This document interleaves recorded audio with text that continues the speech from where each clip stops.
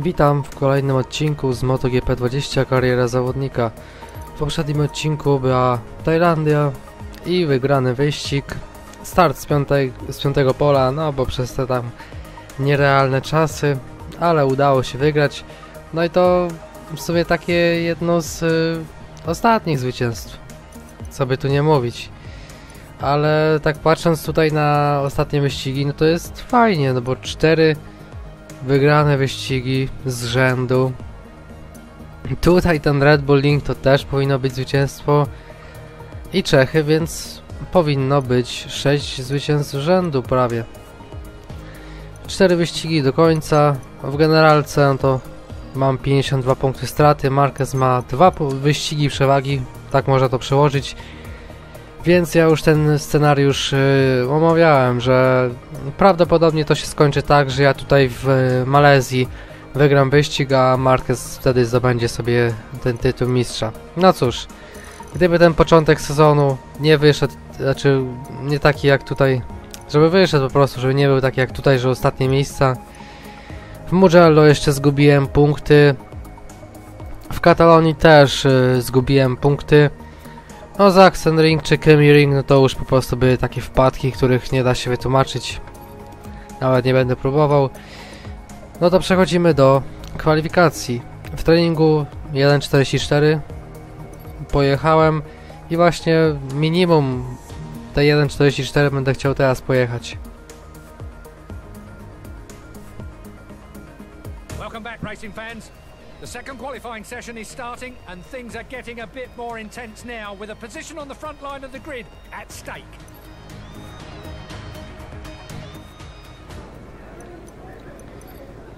I przewijamy od razu.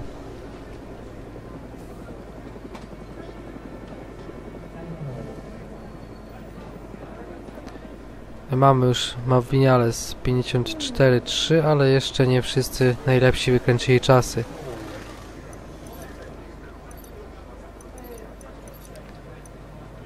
Nowe miękkie opony, troszkę więcej paliwa. I do dzieła. The mechanics are taking the bike out of the pit, and the rider is ready to get on. Let's see if some interesting information comes from the configuration chosen for the next lap.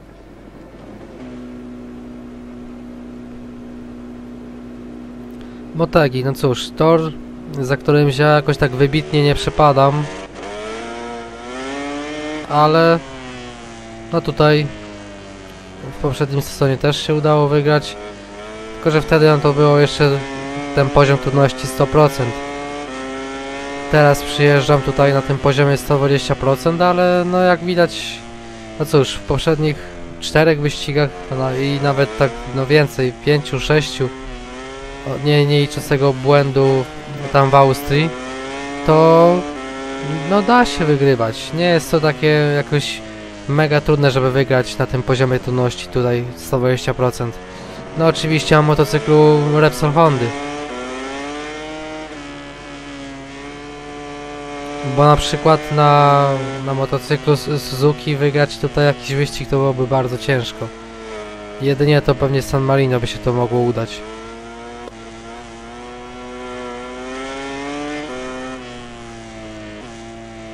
Tutaj ten zakręt, y, on jest taki, że łatwo się tutaj można przewrócić. A zdarzyło mi się to w treningu. Już nawet tutaj w tym nawrocie było całkiem dobrze podczas treningu.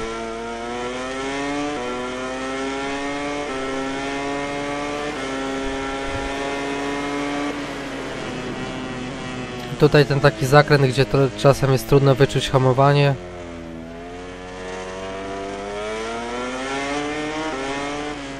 Końcówka okrążenia. I zaczynamy pierwsze okrążenie. No i tutaj właśnie wychodząc na prostą startową też łatwo można niestety zahaczyć e, no trawę na zewnętrznej. Czyli natychmiastowa wywrotka, no bo tutaj jeszcze w takim jakby złożeniu jeśli się dotknie trawy to no nie ma szans żeby się z tego wyratować.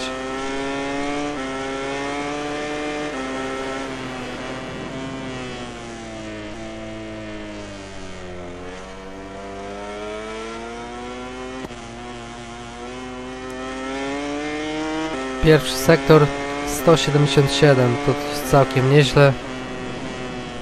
W ostatnim sektorze mam oczywiście, tak to było w poprzednim sezonie, mam bardzo dużą przewagę. Więc y, jak jadę okrążenie, to po prostu po trzech sektorach chcę mieć y, stosunkowo niedużą stratę. Teraz 160 tysięcznych po drugim sektorze, ale no właśnie, trawa, tam jeszcze wcześniej tą szykala nie trafiłem, więc po trzecim sektorze będzie już słaby czas i ja tego nie, nie odrobię w ostatnim sektorze, chociażbym się bardzo postarał. Marquez się przewraca.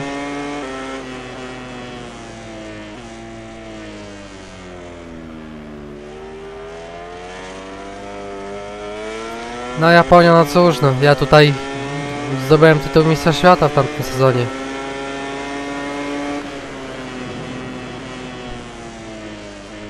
Zdobyłem go właśnie w Japonii, właśnie w siedzibie Hondy.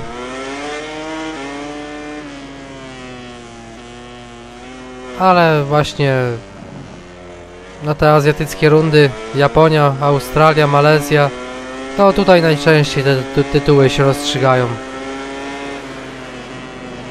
Tutaj się za późno trochę złożyłem. Mnie nawet wyrzuciło za tor. No, zostawiłem sobie też jeszcze paliwo na dwa, na dwa okrążenia, tą wzbogaconą mieszankę. Ja tu się nie mogłem zdecydować trochę z tym złożeniem. A i tu highside potężny. No ale też, o właśnie to muszę zaznaczyć, że coś, coś złapanie rytmu tutaj e, zajmuje mi chwilę. Treningu tak naprawdę no tylko z, z dwa okrążenia może mi się takie czyste udały. Nie wiem czemu, ale właśnie jakoś teraz mi tutaj jest wyjątkowo ciężko złapać e, dobry rytm.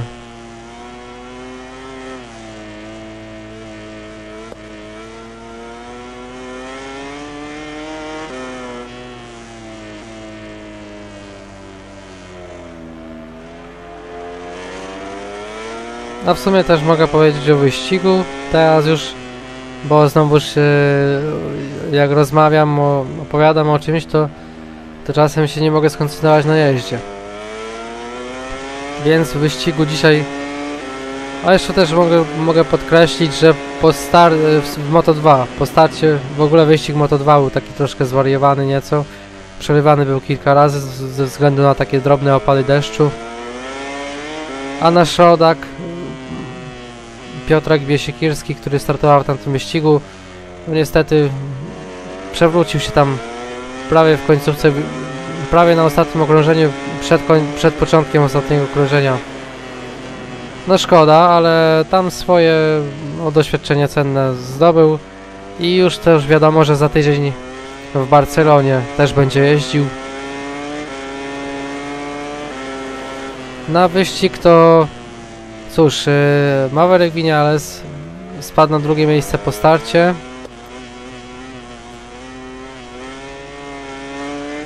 I to się tak zaczęło, że Banaja, Banaja, Vinales i kto tam jeszcze był? Quartararo i Espargaro. Ta czwórka odjechała a mi tutaj właśnie dobry czas odjechał przez tamten wyjazd. No właśnie to widać, że no nie mogę się tu odnaleźć cały czas. Ta czwórka Banaja, Vinales, Espargaro i Quartararo odjechała i jechali tak naprawdę chwilę w takiej kolejności. No Valentino Rossi się niestety przewrócił. Alex Marquez za to też miał naprawdę świetny wyścig. A tak w ogóle to on właśnie tą poradną rozgrzewkę wygrał i to było naprawdę duże zaskoczenie dla wszystkich. No ale wygrał tą poradną rozgrzewkę. I w wyścigu też właśnie bardzo dobrze. Mir, no cóż, gdyby miał lepszą pozycję startową, to też yy, mógłby namieszać. Chociaż no, no i tak namieszał. I to bardzo dużo.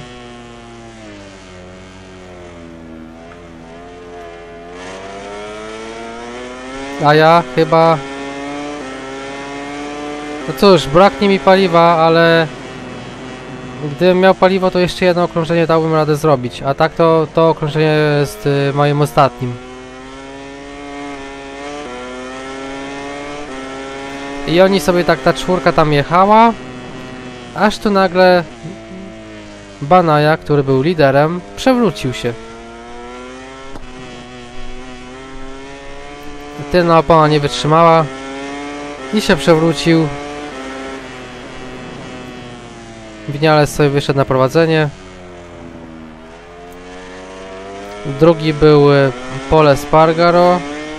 Trzeci Quartararo. No tam do nich właśnie też y, Mir dojechał. Mir sobie z nimi poradził. Quartararo też w końcu sobie ze Spargarem poradził. I na metę dojechali w takiej kolejności, że Winiales wygrał. Drugi był Mir, trzeci Quartararo, ale dopatrzyli się tam wyjazdów poza tor u Fabio Quartararo i odebrali mu to trzecie miejsce. Na trzecie miejsce wskoczył z powrotem Pole Spargaro. No ja tutaj mam 70 straty po trzecim sektorze. To jest oczywiście strata nie do odrobienia. Chociaż będę próbował jeszcze jechać na to ostatnie okrążenie. No na pewno będę musiał paliwo sobie uciąć, ale jeszcze spróbuję to ostatnie okrążenie pojechać. Bo mi nie braknie mi czasu. No dosłownie kilka sekund do końca kwalifikacji zdążę rozpocząć to ostatnie okrążenie.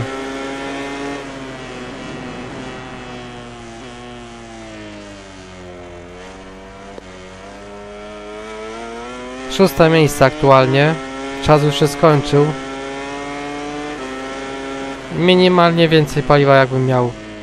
To bym dał radę. A tak to na pewno będę musiał to paliwo przyciąć.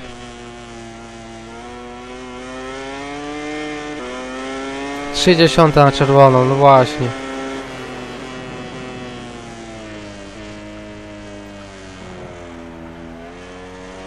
Tutaj sobie to paliwo teraz przytnę. Albo może nie trzeba będzie nawet tego robić?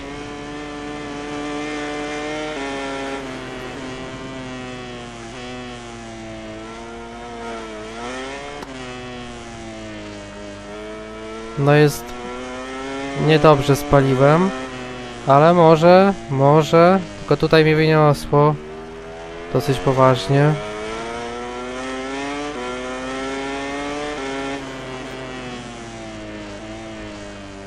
Uścisk już. I zobaczymy jaka jest ta strata. No jest na czerwono, 175 tysięcznych przed ostatnim sektorem.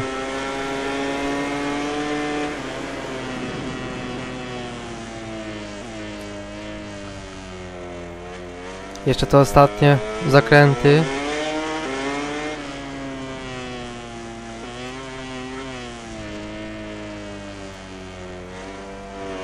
I pędzimy do mety. Paliwa wystarczyło. Czy to będzie pole position? Let's have a look at the times after the second and last qualifying session. Our live broadcast ends here for today. Thanks for joining us. Tune in again tomorrow for live coverage of MotoGP. Ale pojechałem to ostatnie okrążenie. I tym ostatnim okrążeniem, które rozpoczęło się dosłownie 4-5 sekund przed końcem kwalifikacji, zapewniłem sobie pole position. Także ja teraz tradycyjnie, jak to teraz jest, kiedy jestem chory, robię sobie króciutką przerwę, a dla Was to będzie tylko mały przeskok, także za chwilę wracam. Jestem z powrotem, no to zaczynajmy ten wyścig. A jeszcze zanim zaczniemy, to warto podkreślić, że Marquezowi coś te kwalifikacje nie poszły. On się tam przewrócił, ale to, to jest Marquez. Dla niego siódme miejsce to jest tak drugie, proszę powiedzieć.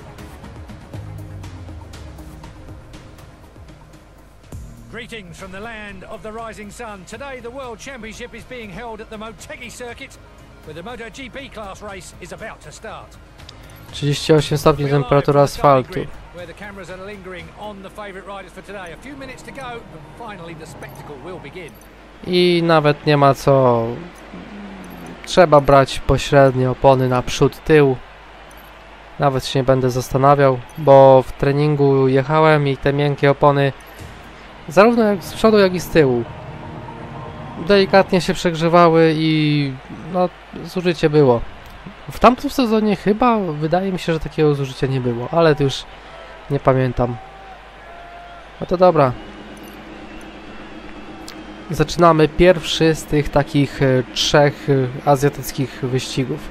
No wyścig w Tajlandii też, wiadomo, to jest, jest wyścig w Azji, ale Japonia, Australia, Malezja od zawsze właśnie tak się w kalendarzu zapi zapisały i tak, tak to się każdemu kojarzy, że to są te takie trzy wyścigi azjatyckie. No to ruszamy. O proszę, Dovizioso Miller, pierwsza linia idealnie na tych samych oponach. Marquez, Marquez założył miękki przód. No cóż, no, myślę, że na tym miękkim przodzie dałoby się pewnie dojechać, ale ten przód mi się troszkę delikatnie przegrzewał, więc ja nie chciałem ryzykować. With the riders on the starting grid, the countdown begins until the lights go off. Just a few moments to go, and the Japanese Grand Prix will begin. Wszystko gotowe. Za moment ruszamy.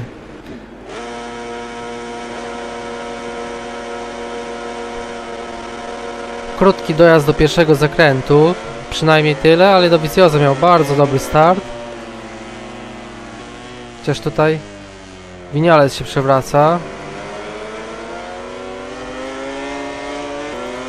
No, czyli taki jeden z, z faworytów. Chociaż no tutaj przynajmniej w tym wyścigu to raczej nie był faworytem. A ja tymczasem szeroko. No ten zakręt to on mnie tam od zawsze. Zawsze mi sprawiał problemy.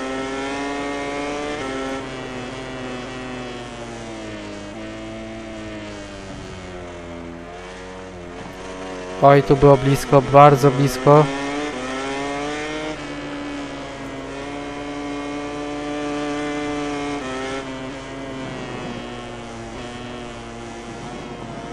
Przewagi nie ma, same uślizgi póki co i Dovizioso już jest na mnie.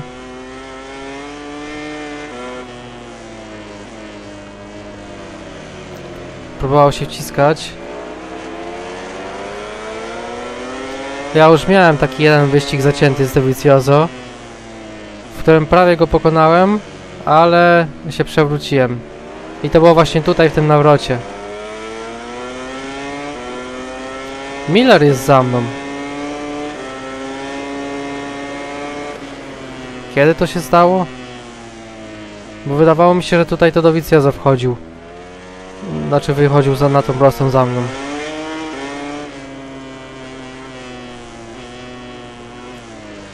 No w poprzednim sezonie te 8 okrążeń naprawdę mi się dłużyło w wyścigu.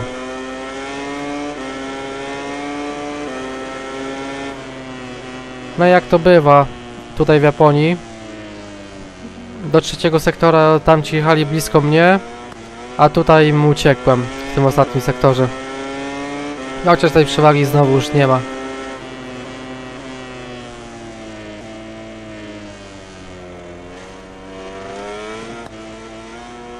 Ale właśnie podoba mi się to, że ostatni sektor jest y, najszybszy w moim wykonaniu, a nie na przykład y, pierwszy i że potem reszta okrążenia tracę.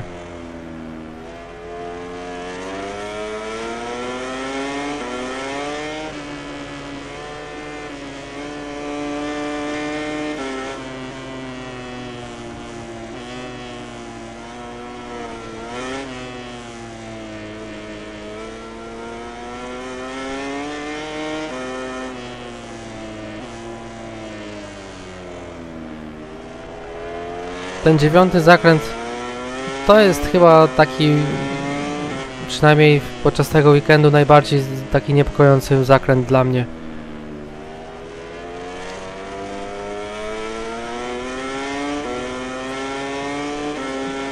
Pośrednia opona z tyłu bardzo dobrze się sprawuje.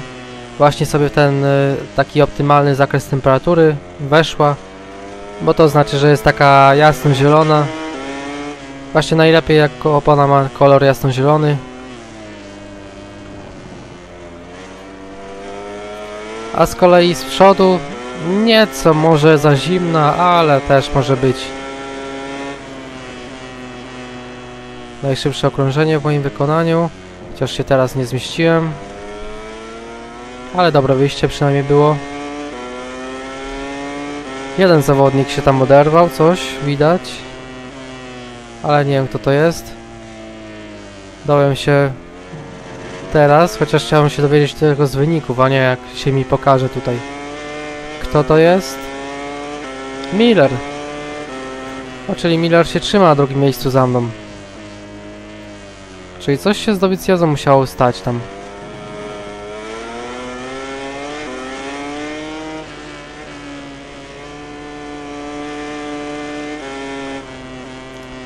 A jeszcze tak a propos tego wyścigu, wyścigu dzisiejszego, to Vinales jest y, no, szóstym różnym zwycięzcą w tym sezonie. To pokazuje jak ten sezon jest naprawdę no mega wyrównany. Mieliśmy już trochę wyścigów, a lider Mistrzostw Świata ma punktów tyle, ile za no mniej więcej trzy wyścigi wygrane.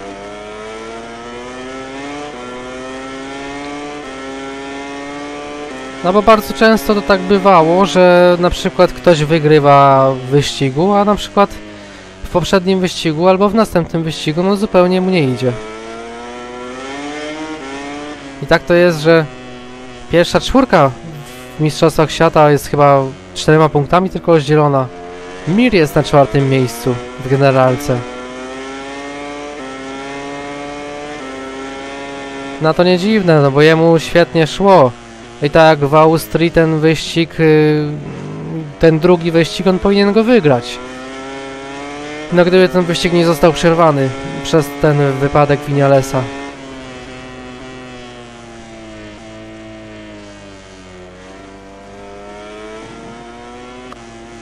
No teraz było fajnie naprawdę tutaj w tym czwartym zakręcie. O ja jechałem przez chwilę nawet na poziomie zero paliwa. To bardzo dziwne. A ja się w pole zorientowałem.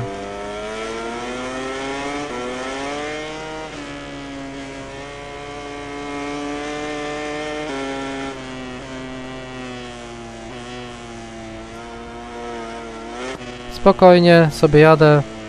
Szczerze mówiąc, tak nie za bardzo się przejmuję przeciwnikami. I o to chodzi. A tutaj trochę na dwa razy trzeba było w ten zakręt wchodzić. Ja rozerwała się trochę ta grupa.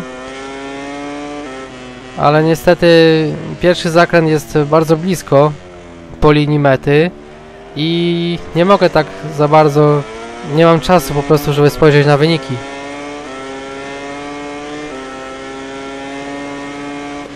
Bo wiem, że Miller jedzie cały czas za mną, ale to kto tam jest dalej w tym wyścigu, to się wyświetla dopiero i tylko, tylko raz, tylko jak się okrążenie kończy.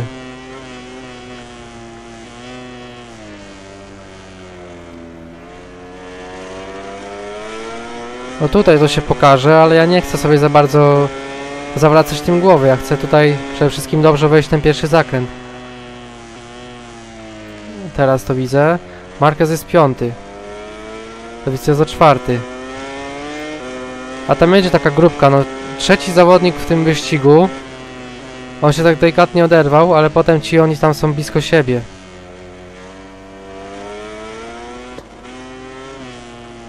No Millera Marquez raczej już nie dogoni, na pewno.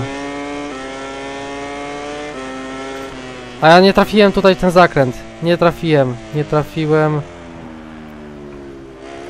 Ale naprawdę, jak ja się cieszę, że tutaj jest szerokie asfaltowe pobocze. No to jest to, ja pomyślałem na moment o, o, o tym, co tu się dzieje w tym wyścigu i już.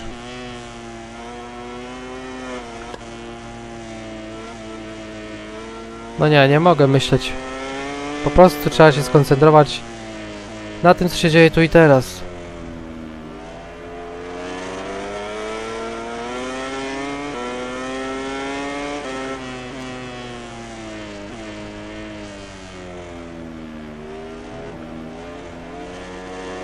No Miller się zbliżył właśnie przez ten mój błąd.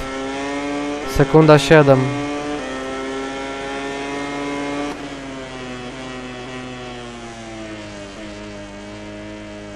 Trochę za wcześnie teraz zahamowałem, ale już to mówiłem, lepiej za wcześnie niż za późno. No to mnie wyrzuciło trochę. No, nie, nie tylko nie blisko trawy. Jak najdalej od tej trawy. No jeszcze trzy okrążenia. Trochę dużo. Jak dla mnie. No, ale jak się jest na prowadzeniu, to, to ta ilość okrążeń naprawdę się dłuży czasami. A jeszcze tak, w poprzednim sezonie jechałem tutaj po tytuł Mistrza Świata, wtedy mi się już naprawdę na bardzo mi się dłużyło ten dystans wyścigowy.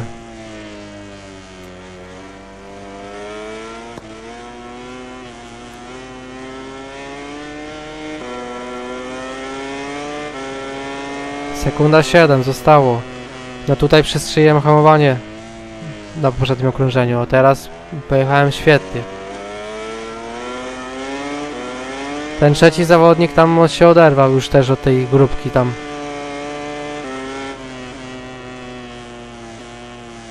No Miller cały czas blisko. No a z takimi błędami to będzie jeszcze bliżej.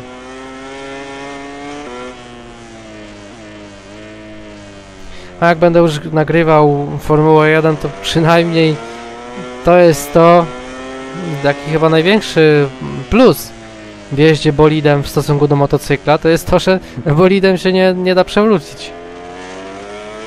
Bolidem to co najwyżej da się wyjechać za tor, jeśli się przesadzi w zakręcie, a na motocyklu jak się w zakręcie przesadzi, no to czasem można już y, tak by no, na poza motocyklem wyjechać z toru.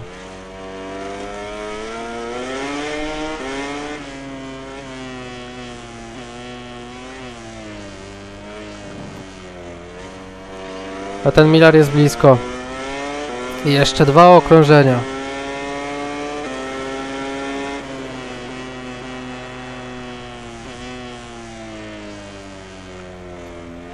Marquez jest piąty. No i być może tak już to zostanie, chociaż nie wiadomo jeszcze nic.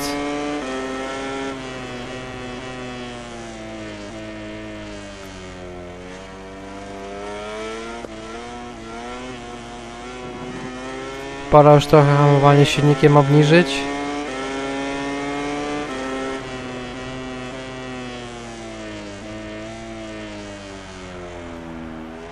Szeroko pojechałem ten zakręt, no ale się zmieściłem.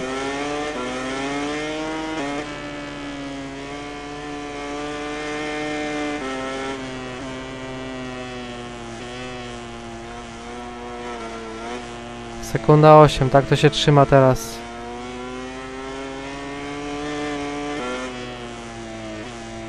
Zakręt, którego się obawiam. Jeszcze tylko raz trzeba będzie przez niego przejechać.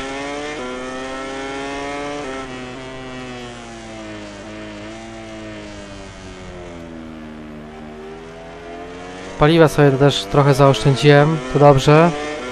Na to ostatnie okrążenie.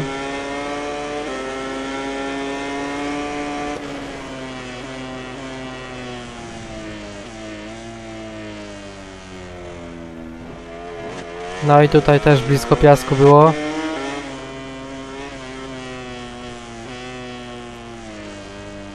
I wychodzimy i zaczynamy ostatnie okrążenie. Jeszcze trzeba będzie każdy zakręt ostatni raz przejechać. Zaczynając od tego pierwszego.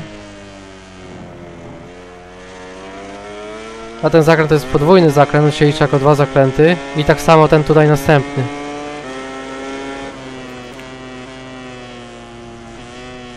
Ryzykownie, bardzo ryzykownie, na milimetry od piasku. No, pięknie sobie. Teraz pojechałem. Tutaj spokojnie. Bez nerwów. Trafić ten zakręt. Wyjechać z niego. Ale jeszcze kilka trudniejszych zakrętów nadal mnie czeka.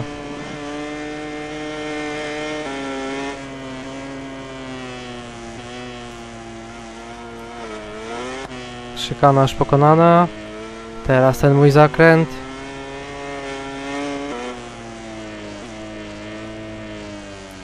Ostrożnie. Przejechany. Teraz ten nawrót.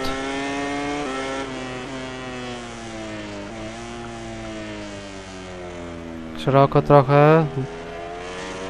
Ale mogę sobie na to pozwolić, bo Miller jest y, no sekundę, patrz, półtorej sekundy z tyłu.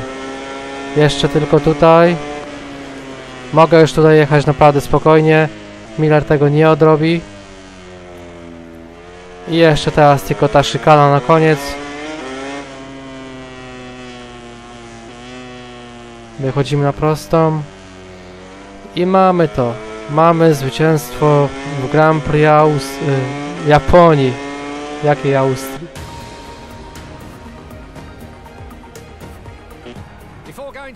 Awards ceremony, let's take a look at the final MotoGP race results. A Marquez szósty. To nie tak dobrze dla niego.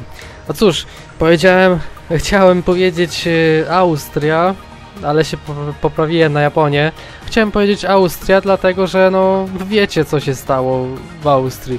I tak właśnie rozpoczynałem to ostatnie okrążenie, miałem bezpieczną przewagę.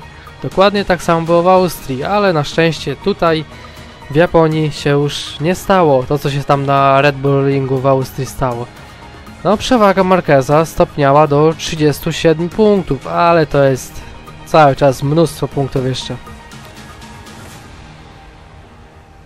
Undoubtedly, it was a perfect day for him. In addition to the victory, his position also earns him 25 priceless championship points.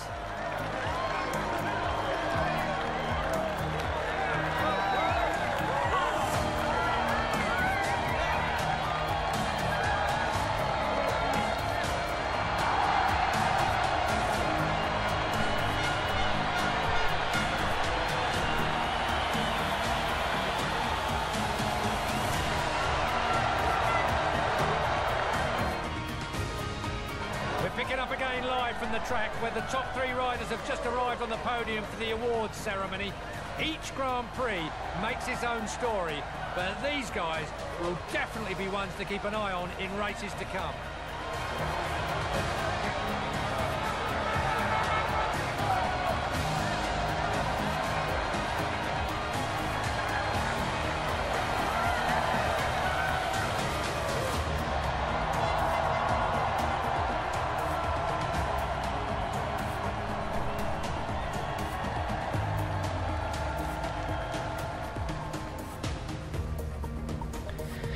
Właśnie czegoś takiego jak y, tutaj w Japonii brakło w Austrii i we Włoszech. Chociaż we Włoszech, no to prowadzenie objąłem jak się rozpoczynało ostatnie okrążenie, także tam jeszcze były emocje duże, ale w Austrii no to te 5 punktów, które mi uciekło w Austrii, to nie powinno tam uciec. Teraz Australia, ale jeszcze jedną rzecz wam pokażę. E, W Tajlandii, kiedy trzeba było podpisywać kontrakt, to jednak tam cofnęło mnie jeszcze do tego momentu, że mogłem znowu to zrobić i tym razem właśnie ten kontrakt, y, to tutaj widać teraz, y, o właśnie pisze kontrakt status dismissal, ponieważ nie przedłużyłem kontraktu z Repsol Hondą, no bo nie będę już właśnie więcej jeździł i, i też jestem właśnie sam ciekaw, co się stanie. Czy jest tu w ogóle coś takiego, że jeśli się z żadnym zespołu nie podpisze, to się jakoś kończy karierę, coś takiego? No nie wiem. No to zobaczymy, ale jeszcze zostało trzy wyścigi do końca sezonu. I teraz Phillip Island. No cóż, moja ulubiona trasa, ale no od dawna się już tutaj no nie udało wygrać. A jak będzie tym ostatnim razem, podczas ostatniej wizyty w Australii Phillip Phillip Island, to tym dowiemy się już w następnym odcinku. A za ten już dziękuję i do zobaczenia.